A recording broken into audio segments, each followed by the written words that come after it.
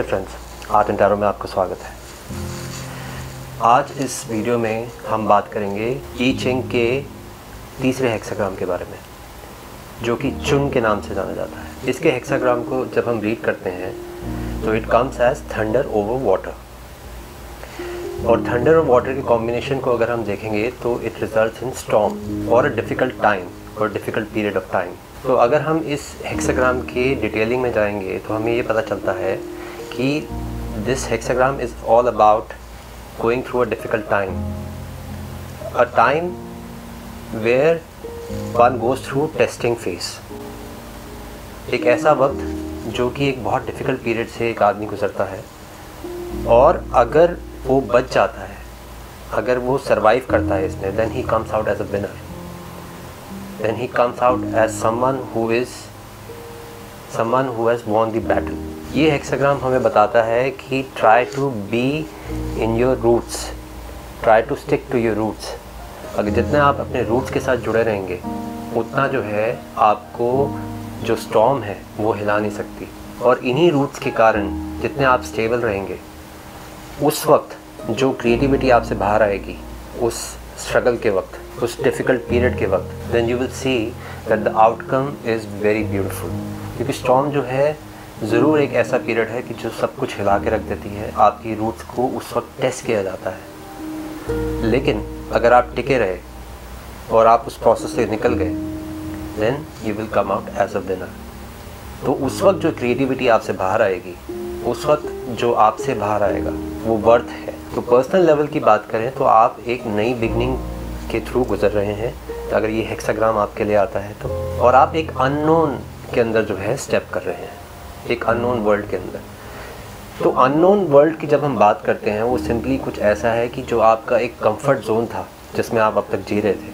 अब आप उससे जो है बाहर आ रहे हैं। And finally you you coming out of the box and out of the box simply means that you are going into some kind of an adventure ये हेक्साग्राम हमें बताता है कि this is the time where your faith will be tested और this will also be a time when you will take a jump. So this is a difficult period और ये difficult period कुछ ऐसा है कि जो आपकी personal और external life को जो है एक टेस्टिंग फ़ेज़ से गुजार रहा है।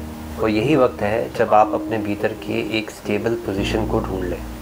अगर आप उस स्टेबल पोजीशन में आप हो गए तो बाहर के स्टॉम्स चाहे वो कुछ भी हों आपको वो और स्ट्रॉन्ग बना जाएँगे। सो so, जब तक ये स्टॉम है आपको जो है अपने उस पीसफुल सेंटर में, उस स्टेबल सेंटर में आपको रहना है। तो जैसा कि हमने पहले भी बात करी है कि हेक्साग्राम जो है, हम जब हम रीड करते हैं, वो हम रीड करते हैं नीचे से ऊपर की ओर। And there are six line और ये जो सिक्स लाइन्स हैं, वो सिग्निफाई करता है वाटर ओवर थंडर और हर हेक्साग्राम जो है, वो आपको जो है, आपकी उस एनर्जी का मैप बताता है कि where this energy is going to go how it is going to shape out तो आइए इसके गहरे में जाते हैं और देखते हैं और ये हेक्साग्राम क्या कहता है। जो फ़र्स्ट लाइन है, वो है सेंट ऑफ़ द स्टॉम ये ऐसा वक्त है जब आपको जो है, जब आप महसूस कर सकते हैं कि that there is a time जब मुसीबत जो है आपके पास आने को है, आप सेंस कर सकते हैं।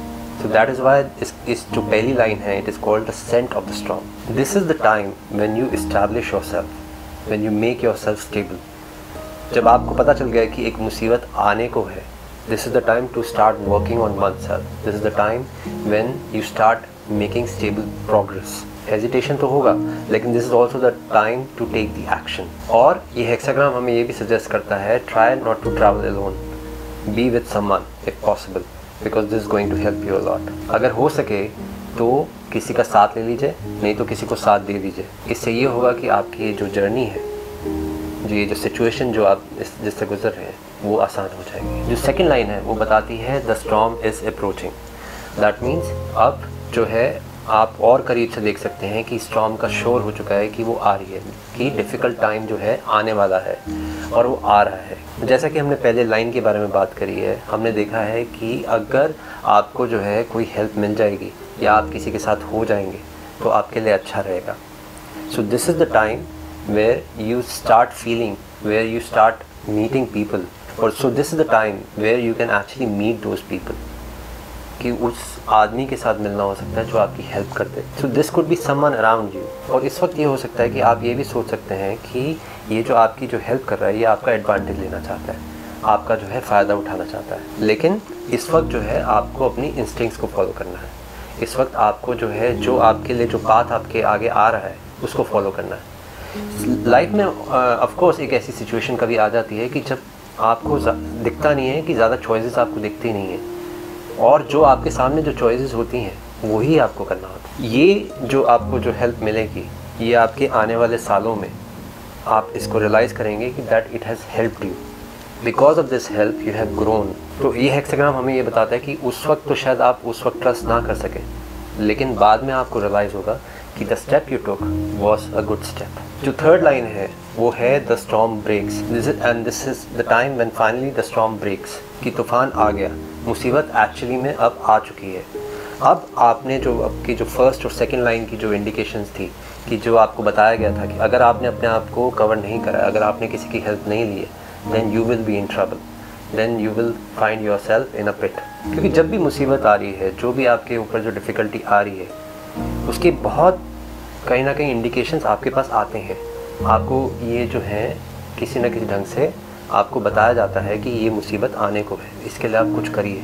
इससे अपने आप को आप बचाइए। जो फोर्थ लाइन है, वो कहलाती है the storm calms that simply means कि this is the time when the storm has calm down कि जो तूफ़ान जो आया था, वो अब थम सा गया है। बट अभी भी जो है, आप एक वनरेबल पोजीशन में हैं, एक डेलिकेट पोजीशन में हैं।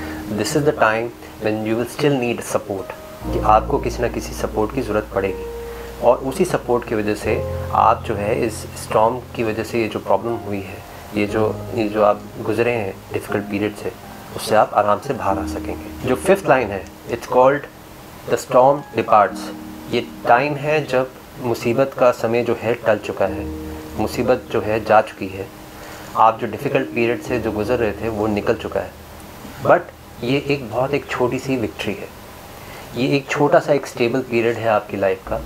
आप इसके ऊपर पूरी तरह से रिलाय नहीं कर सकते। आपको अभी भी अपने आप को तैयार रखना है कि अगर कोई मुसीबत आए तो क्योंकि आप एक बहुत डेलिकेट पीरियड से अभी गुजरे हैं। इस वक्त जो है कोई भी बड़ा स्टेप मत लीजिए। इस वक्त कुछ भी ऐसा मत करिए कि जो आपको लगता है कि ये थोड़े से जो कॉन्फिडेंस आप में आया है कि आप सीधा जो है माउंट एवरेस्ट में चढ़ जाएँ। आप स्लोली स्लोली छोटे छोटे स्टेप्स लीजिए।